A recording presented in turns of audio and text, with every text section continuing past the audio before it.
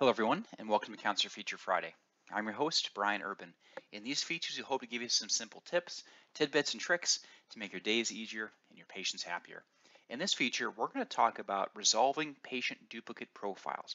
So this would be the instance where uh, you've identified uh, two or more profiles in CounselEAR for a specific patient, right? And sometimes it can be difficult to detect that, uh, but we, I'm going to show you some tools where you can find and resolve uh, any of those issues. Okay, so we're going to start here with the patient duplicates dashboard widget, a very helpful dashboard widget to help you monitor for any duplicates uh, and resolve them quickly.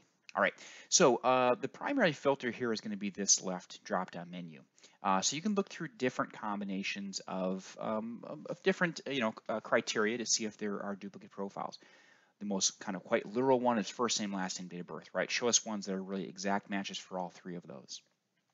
But you may also find success uh, with doing things like first and last name, or uh, very commonly last name and date of birth, right? This is one where you can start to suss out um, where maybe there's a difference in, say, the patient's name. Let's find one here. So if we have Elizabeth Lilly and Liz Lilly with the exact same date of birth, probably the same patient. Maybe not, but probably. Um, so this gives you the opportunity to, to review that and uh, determine, right? And if there's a duplicate, then resolve it. So let's start by looking at uh, this list here. And let's just take Kate's profile. So we'll say, okay, very strong likelihood this is the exact same patient. Maybe we already know that it's the same patient. Uh, what you want to do is check both profiles. So we'll start with the first in the list. By clicking that, of course, it opens the profile, and then you give it a quick review. We can see there's some details here, there's an audio, uh, there's no contact information for this patient. Um, that's common uh, oftentimes with duplicate profiles where one may have more information than the other. Uh, ultimately, what we're looking for here in the contact tab is, uh, is this information current, right? Is, is, there anything there? And if it is, is this the best contact information? Because we're going to try to decide between the two or possibly more profiles, which one has the best most current contact information. That's a very important thing to keep in mind. But we can see here there's a policy, there's appointments, invoice, etc. Right? All of this is going to copy over the policies, appointments, questionnaires, invoices, devices, Noah data, vTracker, docs, portal information, right? That'll all merge into the other profile, or if you're merging the other profile into this one, point being is this information is preserved. CounselEAR needs to know though which uh, profile has the best contact information. So that's really where your focus is. So we're saying here, yeah, not really much going on here. Okay, let's look back at the dashboard. Let's look at the second profile. Okay, in this profile, we can see that there is contact information, right? So this would be our, this would be the profile that we want to pull the information into. Okay, so once you've identified that, then you would click on Actions in the top menu, or in the uh, top right here, and then you would select merge patients. Okay, so this is a key point. You always want to start, uh, when you start this merge process, start in the profile where you wish to keep the contact information. Okay, so I'm going to go ahead and click merge, and then we'll do a search. You can see it automatically filled in the patient's name, and it found the matching profile. Great, so now we'll click on that, and we're going to click merge.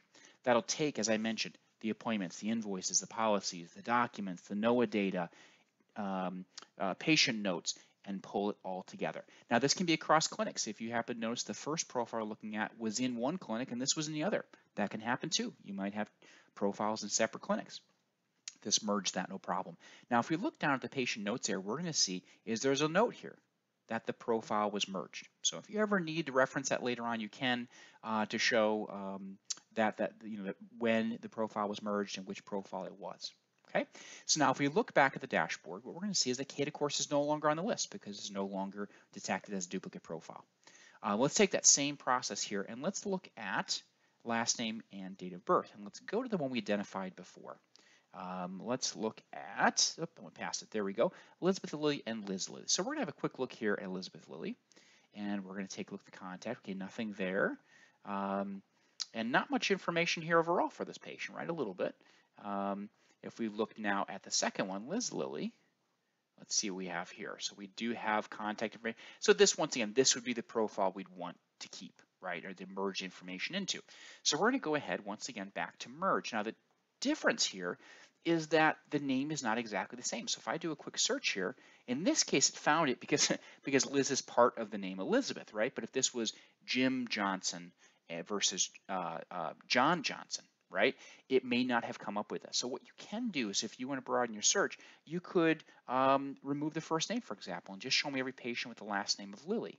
It'll show you more results, but you'll be able to identify the specific one that you're looking for. Now, in this case, not the best example because it did show, um, but we can basically, yes, this is the profile we're looking for. We're going to go ahead and click merge. Okay, so you can kind of expand the search at that point if you recognize there are differences in the name, but usually more like nickname type thing or, or, or, shortened names.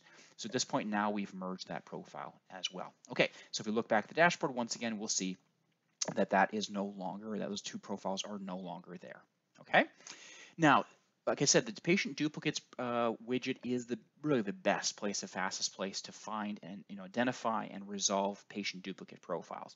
Um, but there's also a way kind of on the fly where you can you can uh, determine this.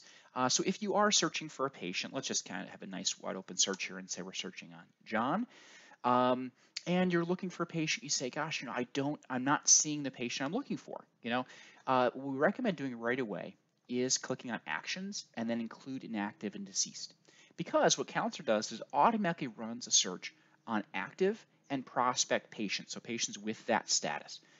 You can then say, all right, beyond that, I want to make sure that we're including inactive and deceased because what can happen is sometimes, particularly when you convert it from a different um, office management system, you may have some archived profiles that are hanging out there uh, and are essentially duplicates, but you don't see them. And maybe maybe there's some Noah data as part of that uh, duplicate profile, and you want to pull it all together.